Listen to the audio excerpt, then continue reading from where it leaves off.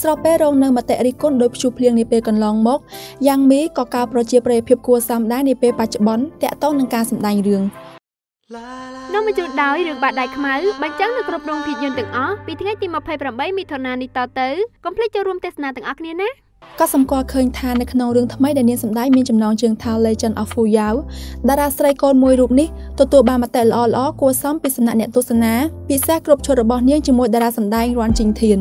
ប្លង់គ្រប់ឈុតរវាងតួសម្ដែងទាំងពីរបានធ្វើឲ្យអ្នកទស្សនារំភើបនិងពេញចិត្តច្រើនពិសេសរឿងពិតនៅក្រៅឆាកក៏ស្រាប់តែត្រូវបានទម្លាយចេញដោយតួប្រុសផ្ទាល់ដែលលោកបានឲ្យដឹងថាយ៉ាងមីបានបង្រៀនលោកជាច្រើនក៏ព្រោះតែសង្កេតឃើញថាជីងធានហាក់ដូចជានៅរឹងរឹងនិងខ្វះតិចនិចនៅក្នុងការសុំស្នេហ៍មនុស្សស្រីទៅយ៉ាងមីដែលជាដៃគូសម្ដែងបង្រៀនស្នៀតខ្លះដោយប្រាប់ថាអ្នកមិនចាំបាច់និយាយត្រង់ត្រង់ពេកទេនៅជំហានដំបូងតែអ្នកអាចដើរជុំវិញនឹងប៉ះខ្ញុំបន្តិចនិងថ្នមថ្នមហើយក៏លេងសើចខ្លះទៅ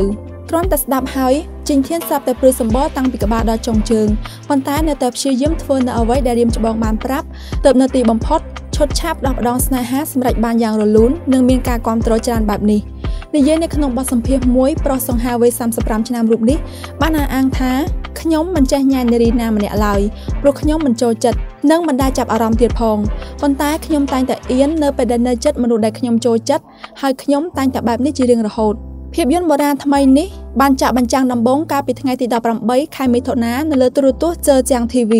និងមានចំនួនទស្សនាដល់ទៅ